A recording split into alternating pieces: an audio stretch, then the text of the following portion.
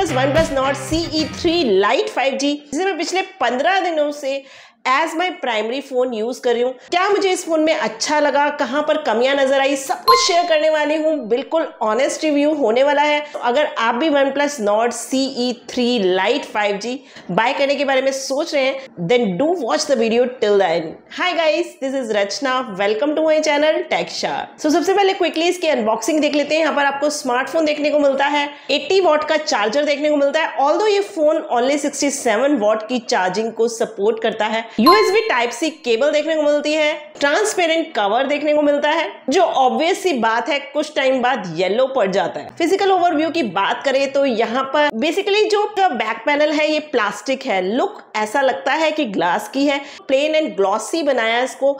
तो उसकी वजह से जो फिंगर स्माजेस हैं, बहुत ज़्यादा आते हैं फ़ोन पे। एंड फ्रंट पे भी यही हाल है। काफ़ी सारे फिंगर स्माजेस आपको देखने को मिलते हैं। बाकी जो फ़ोन का इन हैंड फील है, वो मुझे अच्छा लगा। साइड्स जो हैं, वो बिल्कुल फ्लैट है। तो होल्ड करने में काफ़ी सही है, इसकी जो ग्रिप है काफ़ी अच्छी है फ़ोन स्लिप नहीं होता है हाथों से। लेकिन क्योंकि फिंगर स्माजेस ज़्यादा आते हैं तो यहाँ पर आपको कवर को यूज़ करना पड़ेगा। बाकी फ़ोन का जो वेट है, वो आपको हैवी साइड पे ही दिखता है, क्योंकि बड़ी स्क्रीन है 6.72 इंचेस का full H D plus I P दिया हुआ है। मतलब बीस हज़ार रुपए के प्राइस पॉइंट पर आईपीएस एलसीडी बिल्कुल भी एक्सेप्टेबल नहीं है मेरे हिसाब से।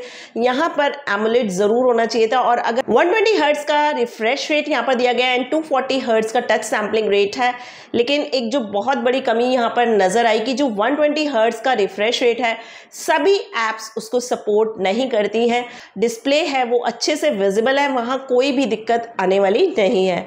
तो अगर हम डिस्प्ले की विजिबिलिटी देखते हैं कलर्स देखते हैं व्यूइंग एंगल्स देखते हैं वो सब कुछ ठीक है बट स्टिल यहाँ पर बीस हज़ार रुपए के प्राइस पॉइंट पर एमुलेट मिलना चाहिए था। बात करें परफॉर्मेंस की तो यहाँ पर आपको मिलता है क्वालकम स्नैपड्रैगन 695 एंड काफ़ी टाइम से इस प्रोसेसर को देख रहे हैं। अच्छा प्रोसेसर है हीटिंग वगैरह के इश्यूज़ यहाँ पर नहीं देखने को मिलते हैं। ऑप्टिमाइजेशन भी काफ़ी अच्छा दिया है इस फ़ोन में। गेमिंग आप यहाँ पर मैं बोलूँगी हैवी गेमिंग तो नहीं कर पाएँगे। हाँ बट कैजुअल गेमिंग आप यहाँ पर कर सकते हैं। अगर आप इसको as a gaming phone consider कर रहे हैं तो मेरे हिसाब से सूटेबल नहीं है phone day to day activities में आपको कोई दिक्कत नहीं आएगी। एप्स वगैरह काफ़ी अच्छे से ओपन होती है एंड जो रैम मैनेजमेंट है, वो भी काफ़ी अच्छा देखने को मिल जाता है। हाँ बात करते हैं इसके कैमराज की। तो यहाँ पर बैक पे आपको एक्चुअली लगता है कि दो बड़े बड़े कैमराज दिए हुए हैं, लेकिन यहाँ पर एक्चुअली तीन कैमराज है। जो ऊपर वाला है वो 108 मेगापिक्सल का है प्राइमरी कैमरा एंड देन आपको 2 मेगापिक्सल का मैक्रो और 2 मेगापिक्सल का डेप्थ सेंसर देखने को मिलता है। और फ्रंट पे आपको 16 मेगापिक्सल का सेल्फी कैमरा यहाँ देखने को मिलता है। जो बैक पे प्राइमरी कैमरा है, काफ़ी अच्छी फ़ोटोज़ आती हैं मुझसे मतलब शार्पनेस वगैरह काफ़ी अच्छी है। यहाँ पर डायनेमिक रेंज भी सही है फ़ोन की। थोड़ी सी कमी जो मुझे दिखी वो ये कि जो इसकी शटर स्पीड है, वहाँ थोड़ा थोड़ा अटकता है फ़ोन में भी कि अपडेट के साथ ठीक हो जाए। बट अभी अगर मेरा हाथ शेक हो जाता है तो थोड़ी सी ब्लरी फ़ोटोज़ आती हैं। एंड टू मेगापिक्सल के डेप्थ सेंसर से तो आप क्या ही एक्सपेक्ट करेंगे? हाँ बैक पे जो ब्लरिंग है, वो मीडियम ब्लरिंग जब हम रखते हैं तो उस पर ठीक ठाक आता है। सेल्फी कैमरा की बात करें तो 16 मेगापिक्सल का सेल्फी कैमरा यहाँ पर अल्ट्रा वाइड एंगल लेंस नहीं दिया गया है। बहुत बड़ी कमी है। बीस हज़ार रुपए के प्राइस पॉइंट पर यार अल्ट्रा वाइड जो देना चाहिए था टू मेगा मैक्रो की तो यहाँ पर कोई नीड ही नहीं थी। बाकी सेल्फी कैमरा यहाँ पर अच्छा लगा मुझे।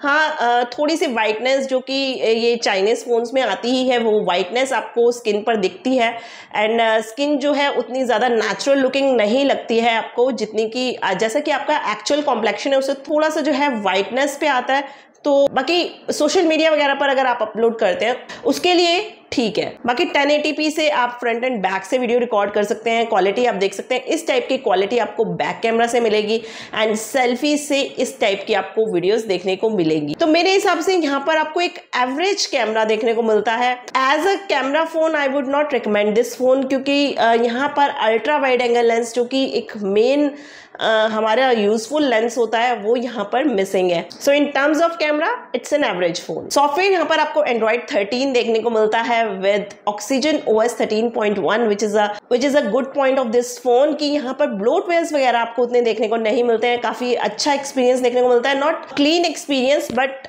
to a great extent एक अच्छा सॉफ्टवेयर एक्सपीरियंस यहाँ पर आपको बैटरी हेल्थ जैसा फ़ंक्शन यहाँ पर आपको देखने को मिलता है, जिससे कि फास्ट चार्जिंग से क्या आपकी बैटरी में चेंजेस वगैरह आए हैं, वो सब चीज़ें यहाँ से आपको पता लगती हैं। टाइम के साथ बैटरी जो है किस टाइप से आपकी परफॉर्म कर रही है, वो सब चीज़ें आप यहाँ से पता लगा सकते हैं। बाकी बैटरी यहाँ पर 5000 थाउज़ेंड की देखने को मिलती है विद 80 वॉट फास्ट चार्जर आपको देखने को मिलता है बॉक्स में, लेकिन फ़ोन ओनली 67 वॉट को ही सपोर्ट करता है। ऑलमोस्ट एक घंटा आपको इसको फुल चार्ज करने में लग जाता है। और जैसे मैंने इसे यूज़ किया, अगर आप एक नॉर्मल यूज़ करते हैं तो मोर देन वन डे की आपको बैटरी बैकअप यहाँ पर देखने को मिलती है, क्योंकि काफ़ी अच्छा है प्रोसेसर अगर देखा जाए ट्राइड एंड टेस्टेड है।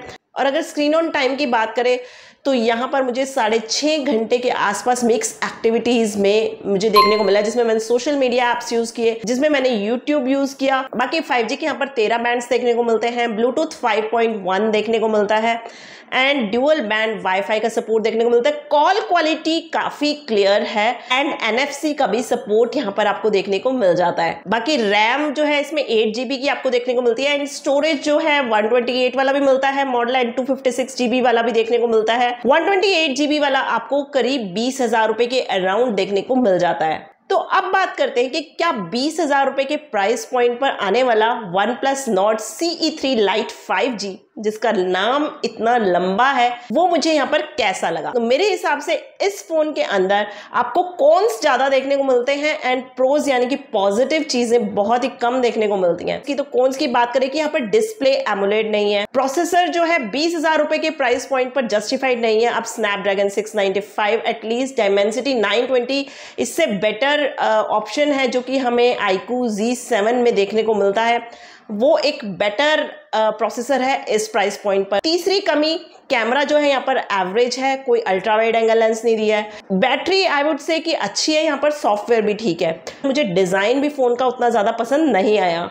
तो अगर आपका भी बजट बीस हज़ार रुपए के अराउंड है तो मेरे हिसाब से आप कोई दूसरी ऑप्शन के लिए जा सकते हैं, जैसे कि iQOO G seven is a better option और वैसे भी ये बिल्कुल कॉपी लगता है रियलमी टेन प्रो प्लस का। तो ये था मेरा real and honest review about OnePlus Nord C three Lite five G आपको ये वीडियो कैसी लगी? अगर अच्छी लगी है तो बिना लाइक करे बिल्कुल मत जाइएगा, क्योंकि मैं ऐसे ही ऑनेस्ट रिव्यूज़ इस चैनल पर लाती रहती हूँ।